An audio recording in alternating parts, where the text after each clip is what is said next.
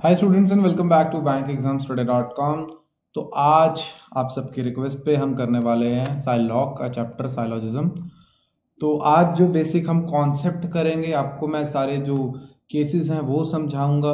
आने वाले कुछ दिनों में, अगले सेशंस में थोड़े डिफ़िकल्ट लेवल के क्वेश्चंस करेंगे रिवर्स साइलॉग के क्वेश्चंस आते हैं, उस लेवल के क्वेश्चंस भी हम करेंगे।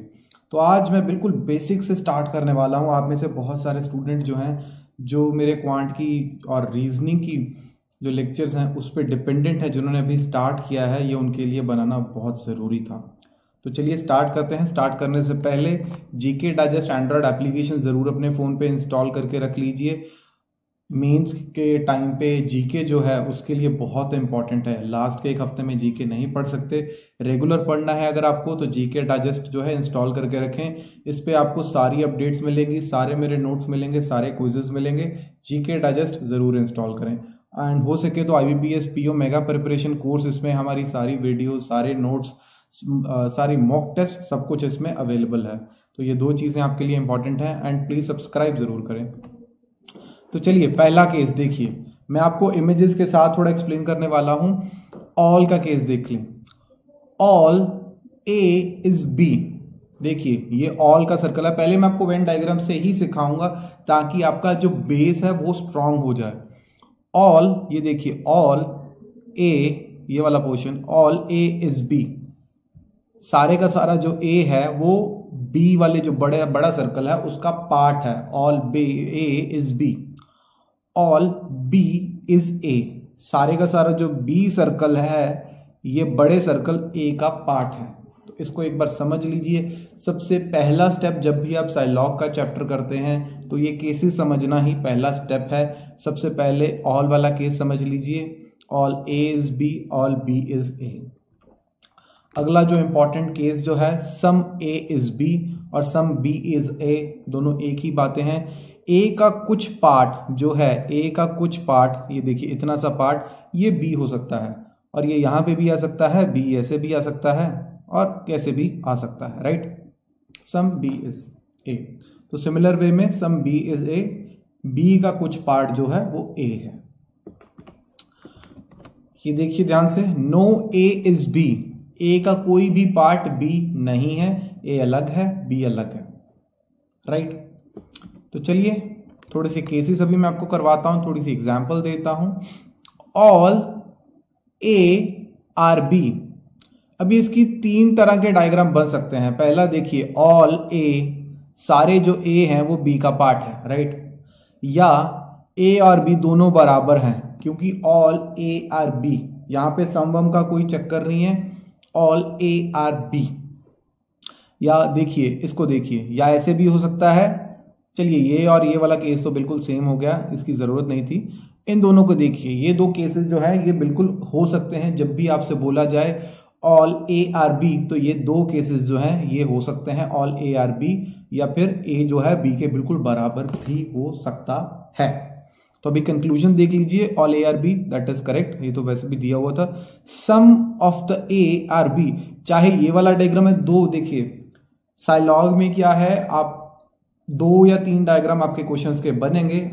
उनके हिसाब से क्या कंक्लूजन फॉलो करती है? सम ए आर बी अब दोनों को देख लीजिए। सम ए आर बी दोनों को फॉलो करता है तो ये भी बिल्कुल सही है। सम बी आर ए दोनों आप डायग्राम्स देखिए। सम बी पहले में भी ये वाला ये वाला पार्ट देखिए। ये बी भी है और ए भी है। ये तो पूरे का पूरा ए और बी बराबर ही है। ये भी सही है। Some A are not B इसको ध्यान से देखिए। क्या ये फॉलो करता है कि नहीं करता? Some A are not B क्या कुछ ए जो है या कुछ बी आर नॉट ए कहाँ से? कुछ नहीं फॉलो कर रहा। है ये कंक्लूजन फॉलो कर रहा है। क्या कहीं पे पॉसिबिलिटी है कि कुछ ए जो है वो बी नहीं है? या जो कुछ बी है वो ए नहीं है? तो ये वाला देखिए। Some A are not B ये तो बिल्कुल ही पॉसिबल नहीं है, क्योंकि ऑल ए आर बी तो सम बी ये तो पॉसिबल नहीं है।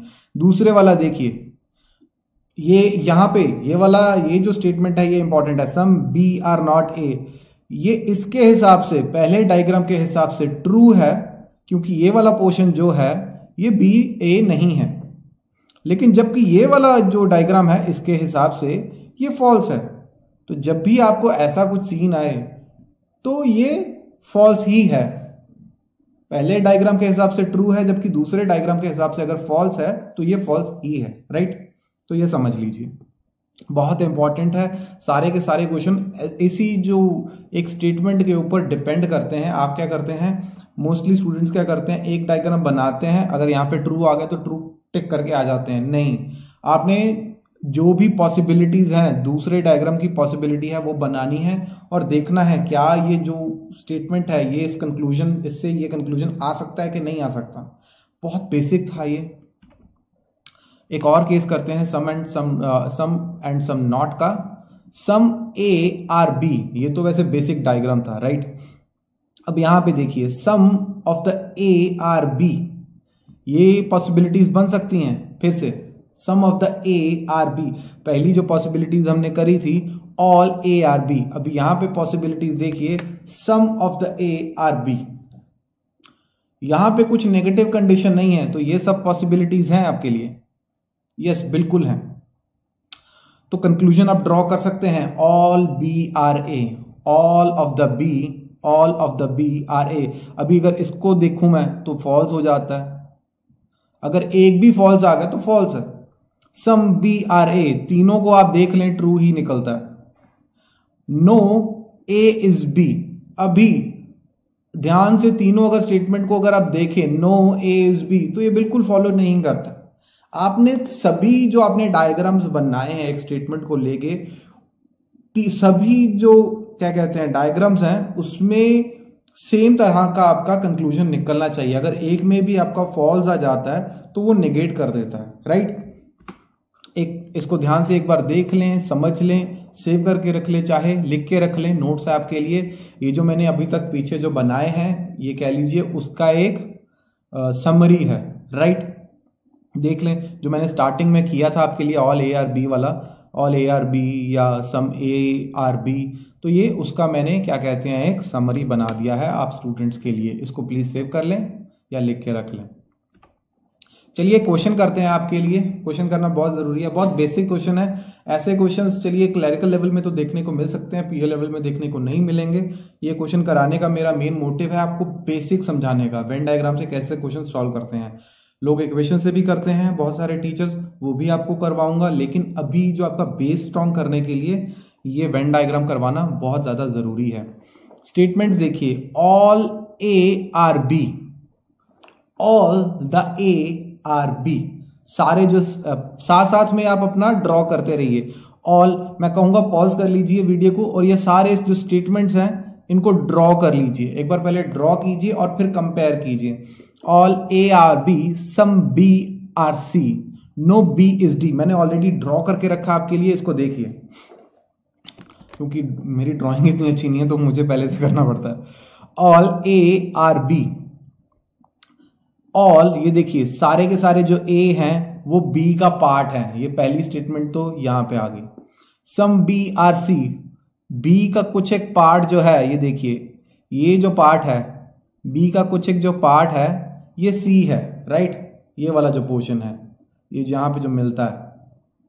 नो बी इज़ डी अभी डी जो है, ये वाला सर्कल जो है, ये इसके अंदर नहीं आ सकता। ये बड़े वाले सर्कल के बी के अंदर नहीं आ सकता।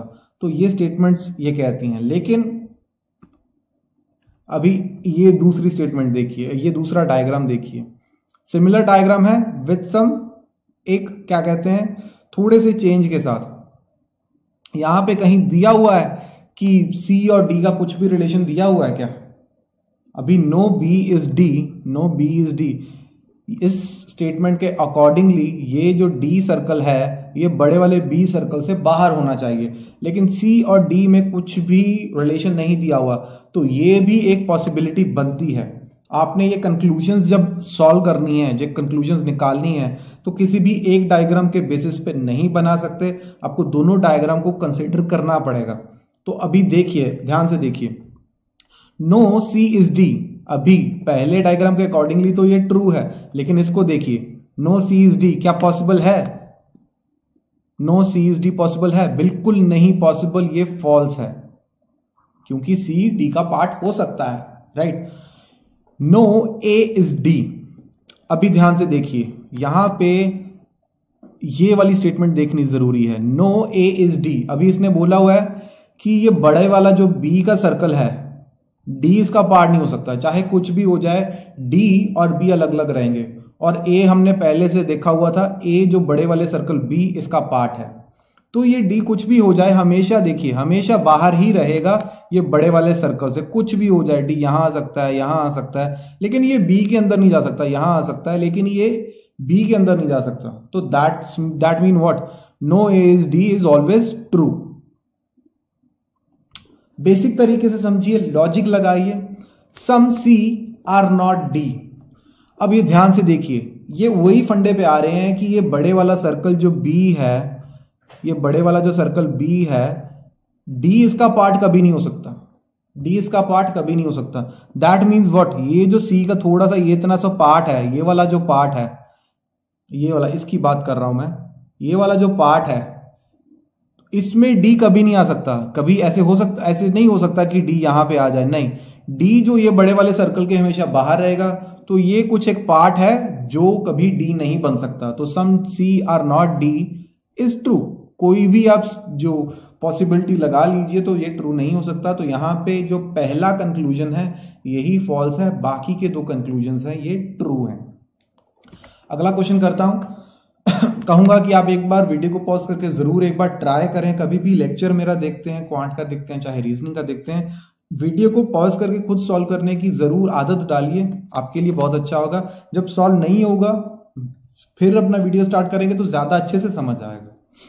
तो all girls are good all the girls are good some good some good are women कुछ भी अज्यूम नहीं करना है। साइलॉग में कुछ भी अज्यूम करके नहीं चलना है। सम गुड गर्ल अगर मेरे, मैंने बोला तो मेरे मुँह से निकला। लेकिन ये नहीं, ये माइंड में नहीं होना चाहिए। माइंड अपना आप जब भी साइलॉग करते हैं, कुछ भी अज्यूम नहीं करना है आपको। इसको ध्यान से देखिए। ये डायग्राम आपका बनेगा। Simple all girls are good all girls जो है, ये एक बड़ा बड़ा जो सर्कल है गुड इसका पार्ट है। All girls are good all girls ये जो छोटा सर्कल है, ये गर्ल्स हैं, और ये बड़ा सर्कल जो है गुड वाला, इसका पार्ट है right some good are women ये सम गुड जो है, ये जो बड़ा सर्कल है, इसका कुछ पार्ट वुमेन है राइट अभी ध्यान से देखिए। ये जो, ये वाला सर्कल है वुमेन वाला, ये यहाँ भी आ सकता है, यहाँ भी आ सकता है, कहीं भी आ सकता है राइट जैसे कि मैंने यहाँ पे बनाया, ये कहीं भी आ सकता है। तो अभी कंक्लूजन देखते हैं। सम वुमेन आर गर्ल्स पहला कंक्लूजन है some women are girls some women अभी अगर यहाँ पे सर्कल होता तो फॉल्स होता, लेकिन अगर यहाँ पे है तो this could be true right some women could be the girl no women is a girl no women ये कॉन्ट्राडिक्टरी होगी पहले वो कह रहा है सम वुमेन्स आर गर्ल अगर मैं ये बात कहूँ तो यहाँ पे अगर सर्कल हो तो यहाँ पे सम गर्ल्स आर वुमेन ये ट्रू है। लेकिन no women is a girl ये ट्रू नहीं है। अगर नो वुमेन अगर ये वाला सर्कल ही मैं इसको ट्रू मानू, इस ये यहीं पे है तो no women is a girl इसको सेटिस्फाई करता है। तो फिर पहले वाले को सेटिस्फाई नहीं करता। लेकिन अगर मेरा सर्कल वुमेन वाला यहाँ पे आ जाए तो ये दूसरे वाले को सेटिस्फाई नहीं करता, पहले वाले को सेटिस्फाई करता तो इसका आंसर क्या बनेगा? इधर इधर वन और सेकंड कंक्लूजन फॉलोज इधर वन और टू दोनों एक साथ फॉलो नहीं करते हैं, या तो पहला सेटिस्फाई करता है, या दूसरा सेटिस्फाई करता है। अगर मैं सर्कल को यहाँ पे रखता हूँ तो मेरा जो है no women is a girl ये दूसरी कंक्लूजन को फॉलो करता है।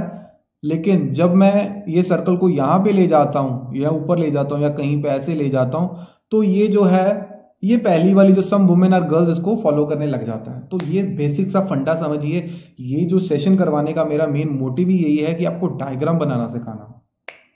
अभी दोबारा से एक और क्वेश्चन करते हैं, थोड़ा सा ये ज़्यादा चार चार स्टेटमेंट्स आ रही हैं इसमें, थोड़ा सा कॉम्प्लिकेट हो जाएगा।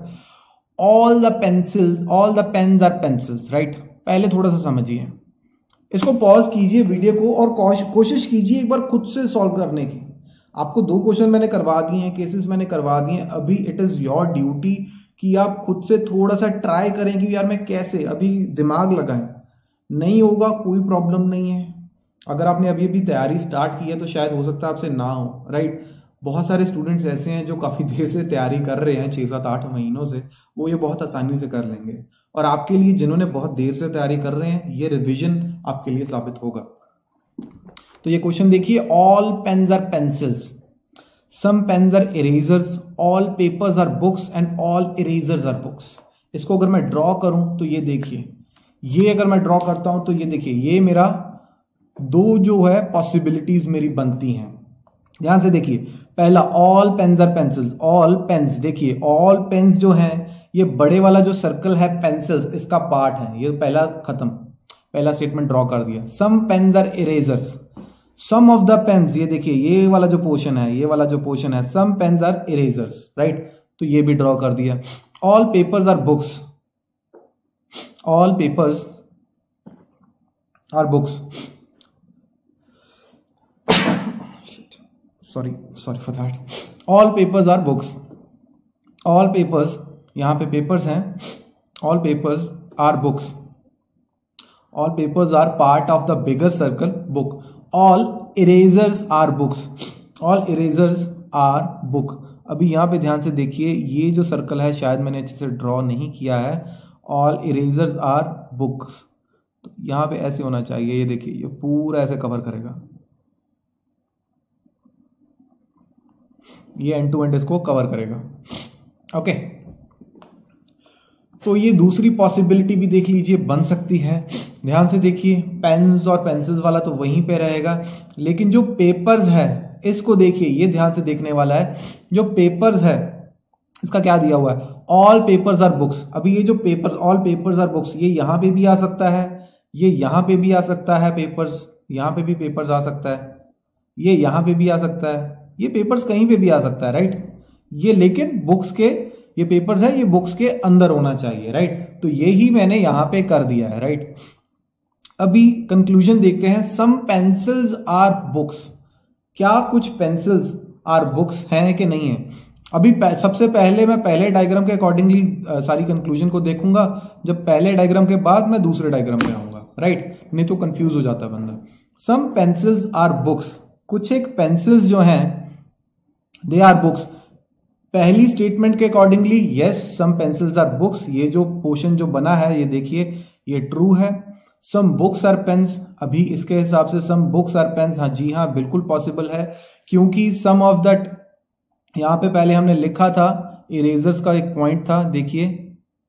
सम पेन्स आर इरेजर जहाँ पे सम पेन्स आर इरेजर तो ये जो इरेजर था, इसका पेन्स का पार्ट था। ये दोनों ब्लैक वाला और ये ग्रीन वाला सर्कल जो है, इस पे कुछ एक जो पोर्शन था, ये कॉमन था। और ये जो बुक्स है, ये बड़ा सर्कल है और इरेजर उसके अंदर है राइट तो ये जो दूसरी स्टेटमेंट भी है, ये बिल्कुल फॉलो करती है। दोनों ट्रू है। No pen is a no pen is paper no pen is paper इसके अकॉर्डिंगली ये वाले डायग्राम के अकॉर्डिंगली ये ट्रू है। लेकिन अभी हम दूसरा डायग्राम देखते हैं। दूसरे डायग्राम में सबसे पहले देखिए नो पेनिस पेपर जो मैंने आपको पहले बताया, इस वैसे क्वेश्चन में कुछ नहीं था। इसमें यही था कि ये पेपर वाला जो सर्कल है, इसको आप घुमा के कहीं भी डाल रख सकते हैं। यहाँ पे भी रख सकते हैं, यहाँ पे भी रख सकते हैं। अगर यहाँ पे आपने पेपर रख दिया, ये पेपर वाला सर्कल यहाँ पे रख दिया तो ये देखिए, ये जो बड़ा सर्कल था, इसका पार्ट हो गया ये। तो no paper is a pen या आप इसको यहाँ पे भी रख सकते हैं, बिल्कुल यहाँ पे। इस पे भी, ये भी पेपर हो सकता है, बिल्कुल हो सकता है। अगर ये पेपर हो गया तो जी, ये बिल्कुल नेगेट करता है। दूसरे ये डायग्राम है, जो हमने ये जो बनाया था, ये जो सेकंड डायग्राम बनाया था, इसमें यही मेन दिया हुआ है कि ये जो पेपर वाला जो पा, ये जो सर्कल है, इसको कहीं भी रख सकते हो क्योंकि इसके अकॉर्डिंगली इन्होंने ये दिया हुआ है कि जी, ये जो पेपर वाला सर्कल है, ये बुक्स वाले बड़े सर्कल में कहीं भी हो सकता है। समझ रहे? इन्होंने बस इतना दिया है कि ऑल पेपर्स आर बुक्स मतलब ये जो ऑल पेपर्स ये जो पेपर वाला सर्कल है, इसको घुमा के आप कहीं भी रख लो राइट right? तो उसके अकॉर्डिंग यही फंडा था क्वेश्चन में। नो पेपर इज़ पेन अभी ये पेपर वाला यहाँ पे पेन के अंदर आ सकता है तो दैट मीन्स ये तीसरी कंक्लूजन जो है, ये फॉल्स है। अभी बस यही था क्वेश्चन में सम बुक्स आर पेन्स अभी सम बुक्स आर पेन्स तो हमेशा ही रहेगा सम बुक्स आर पेन्स तो रहेगा ही रहेगा some pencils are some pencils are books ये भी हमेशा रहेगा। इस पूरे क्वेश्चन में बस ये पेपर वाले सर्कल को घुमाना ही था, बस।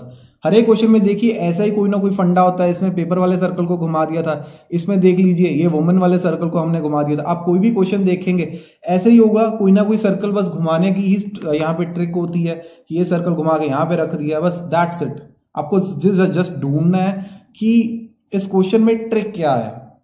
तो अभी मैंने सिर्फ़ बेसिक करवाए हैं आई uh, थिंक कल मैं आपको थोड़े से ट्रिकी क्वेश्चन करवाऊँगा एंड परसों रिवर्स डायलॉग हम करेंगे। तो बस आज के लिए इतना ही। बहुत छोटा सा लेक्चर था लेकिन ये बहुत ज़रूरी था। आप स्टूडेंट्स के लिए बहुत सारे स्टूडेंट्स ने रिक्वेस्ट किया था सर साइलॉग करवाएँ। साइलॉग के बेसिक्स करवाएँ। तो जो एडवांस लेवल के स्टूडेंट्स हैं, जिन्होंने बहुत अच्छे से तैयारी ऑलरेडी कर रखी है, उनके लिए मैं एक वर्कबुक जो है, वो मैं ज़रूर प्रोवाइड करवाऊँगा। प्रैक्टिस क्वेश्चन जो है, वो उसका लिंक मैं नीचे डिस्क्रिप्शन में आपको दूँगा, जो अच्छे लेवल के क्वेश्चन आजकल आ रहे हैं। Bank exam today dot com का मैं एक लिंक आपको प्रोवाइड करूँगा। आप वो क्वेश्चन सॉल्व करने की ज़रूर कोशिश करें। उसका एक्सप्लेनेशन जो है, वो साथ में अवेलेबल है। तो आज के लिए इतना ही। डिस्क्रिप्शन पे ज़रूर जाके जो वर्कबुक है प्रैक्टिस क्वेश्चन जो है प्रैक्टिस के लिए जो क्वेश्चन हैं ये आपको नीचे डिस्क्रिप्शन में मिल जाएँगे। और चैनल को प्लीज़ एक बार सब्सक्राइब ज़रूर करें इस वीडियो को ज़रूर लाइक करें। आज के लिए इतना ही। कल फिर से मुलाकात होगी। कुछ समझ में नहीं आया तो प्लीज़ कमेंट कीजिए। Thank you and have